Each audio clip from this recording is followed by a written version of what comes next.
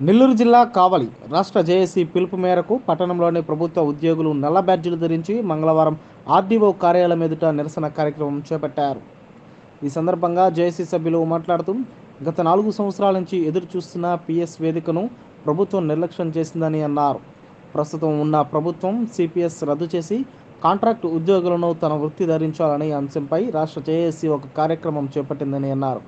కానీ ప్రభుత్వం కాంట్రాక్ట్ ఉద్యోగులపై చిన్న చూపు చూస్తుందని తెలిపారు.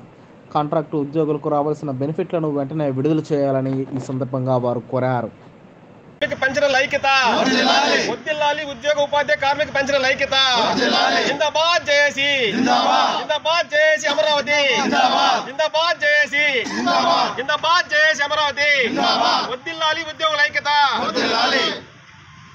అందరికీ నమస్కారం. ఈరోజు ఈ కార్యక్రమానికి చేసినటువంటి పాత్రికేయ మిత్రులకి నమస్కారాలు.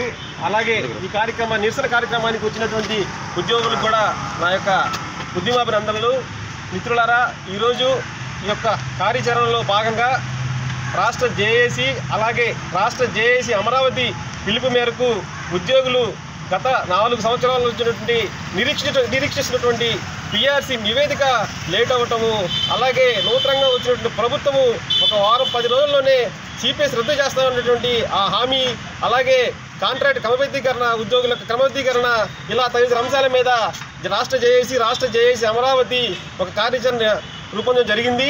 మేము గత దఫాలుగా ప్రభుత్వంతో చర్చలు జరుపుతున్నా కూడా ఉద్యోగుల పట్ల నూతనంగా వచ్చినటువంటి ప్రభుత్వము మరి ఎందుకో నిర్లక్ష్య వైఖరి అవలంబిస్తుంది.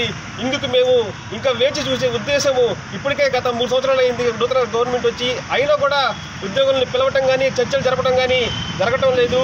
గత మూడు సార్లు రాష్ట్ర జాయింట్ కౌన్సిల్ స్టాఫ్ అనే పేరుతోటి రాష్ట్ర సంఘాల ఉద్యోగుల్ని పదమూడు సంఘాలని చర్చలకు పిలిచారు.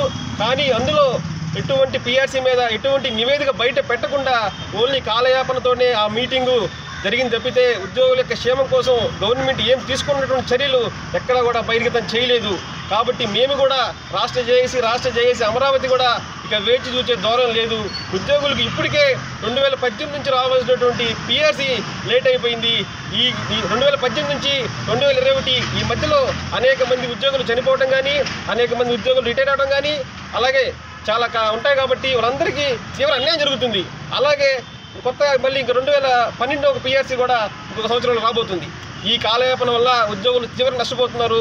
ఈ విషయాన్ని మేము రాష్ట్ర సిఎస్ కానీ అలాగే రాష్ట్ర సలహాదారులు సత్య రామకృష్ణారెడ్డి కానీ సీఎం గారి దృష్టి కూడా తీసుకెళ్ళడం జరిగింది. కానీ ఎందుకో ప్రభుత్వం ఉద్యోగులకు పిఆర్సీ ఇవ్వడంలో వాళ్ళకి ఇష్టం లేనట్టుంది మరి అందువల్ల అందులో కార్యాచరణ భాగంగా ఈరోజు రాష్ట్ర జేఏసీ ఇక ఉపేక్షించేది లేదని చెప్పి జిల్లా రాష్ట్రం మొత్తం కూడా కార్యాచరణ ప్రకటించారు.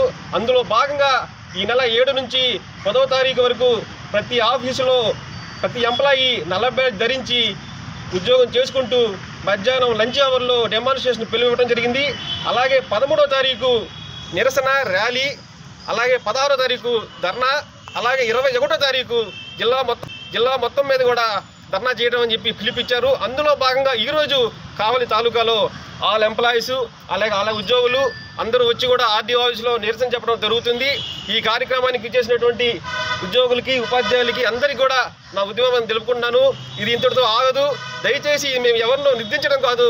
ఇది ఉద్యోగుల యొక్క హక్కుల కోసం మేము పోరాడుతున్నాము. దయచేసి అందరూ భావించి దీన్ని అనేది భావించకుండా ఉద్యోగుల యొక్క రావాల్సినటువంటి బెనిఫిట్లు ఏదైతే ఉన్నాయో త్వరగా గవర్నమెంట్ స్పందించి మాకు న్యాయం చేస్తుందని చెప్పి ఈ సందర్భంగా తెలియజేసుకుంటూ సెలవు తీసుకుంటున్నాను. Thank you